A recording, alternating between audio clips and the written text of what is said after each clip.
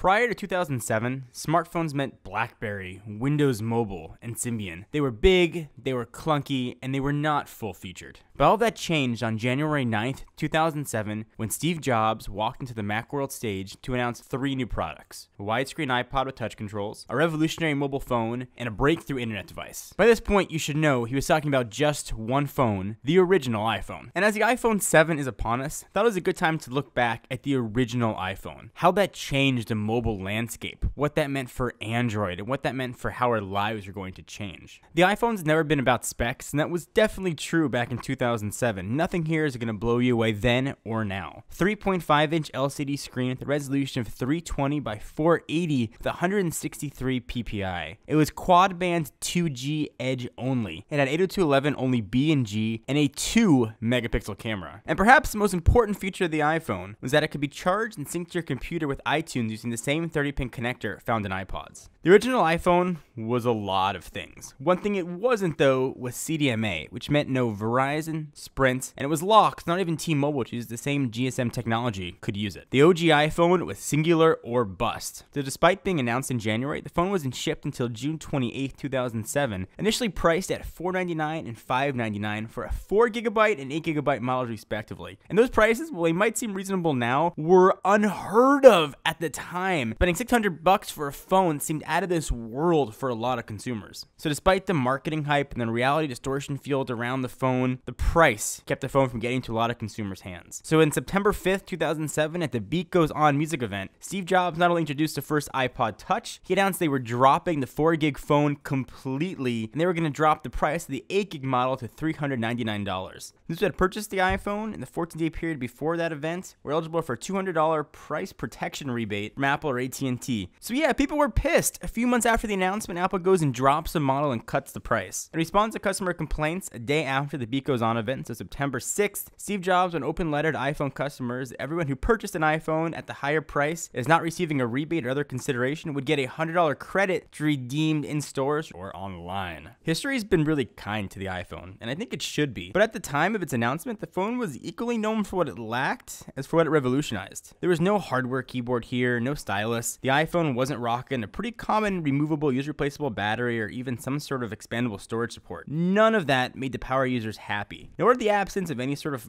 file system, cut, copy, and paste, video recording, not to mention that insane recessed headphone jack that made plugging in most non Apple headphones next to impossible. Seems like Apple's had a vendetta against the headphone jack since the first day. It's hard to think of the iPhone now without the App Store, but that was not part of the original iPhone's plans. In fact, Steve Jobs touted web apps as the future. The original software in the iPhone, dubbed iPhone OS 1, set the stage for what current iOS 10 looks like. And if you look back what that original OS looked like versus now, save for being able to change the background and some icons being modified, things still look very familiar. The design of the iPhone, I think, has held up pretty well. It doesn't look as modern as it once did. I'm still not the biggest fan of the black plastic bit at the bottom to let the RF through. The aluminum still feels nice in the hand, and the phone is oddly still zippy. Despite all the drama with the iPhone, there's no doubt it changed who we are and how we use electronics, how we perceive electronics. Not to mention, completely shook up how phones were bought and took power away from the carriers and put them over to the manufacturers. Now, my allegiances may have changed and swayed over the years, but I'll always remember what the iPhone meant to me and how it changed my life and my career.